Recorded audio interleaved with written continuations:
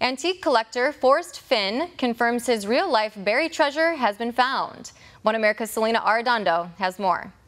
A real life treasure hunt comes to an end in the Rocky Mountains. A notice was posted online saying the chest has been found, and with it, the end of a decades long search. The hidden riches, affectionately known by many as the thrill of the chase treasure, is said to have had at least a million dollars worth of gold, gems, and artifacts, including an ancient golden Aztec amulet. It was hidden by antiques collector, Vietnam War vet, and art dealer Forrest Fenn.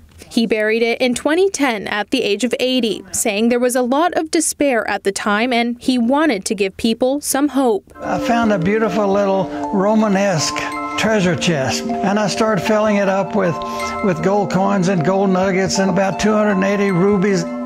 There are two Ceylon sapphires, there are eight emeralds, a bunch of diamonds, but mostly gold. I don't know what it's worth, and I don't even want to think about that. He left nothing more than a vague map and poem containing cryptic clues. Begin at where warm waters halt and take it in the canyon down.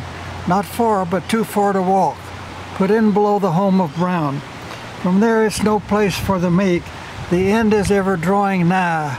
Throughout the years, an estimated 350,000 people have set out in search of the treasure, and at least four people lost their lives. Its legend gained so much traction, some reportedly even quit their jobs in pursuit of it. One person also unsuccessfully sued him over the matter. However, Fenn says it was a single man from back east whose labor finally came to fruition. The lucky treasure hunter has chosen to remain anonymous, but has confirmed his findings directly with Fenn, whose only request was the person keep the thrill and legend alive.